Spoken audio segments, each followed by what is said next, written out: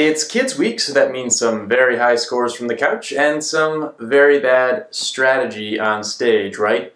This is the final wager. I'm Keith Williams, and that second claim was clearly wrong on Monday as Cerulean went for an $11,000 wager on a daily double.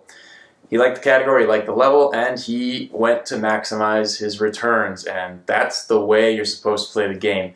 Big daily double wagers.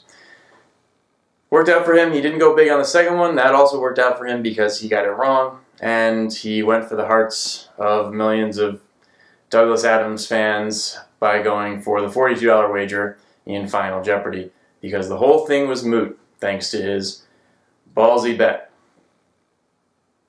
Wish we'd see adults play like that, but uh, you need an Arthur Chu or a Roger Craig to come along before that happens. Maybe people will start to take notice and change their strategies accordingly.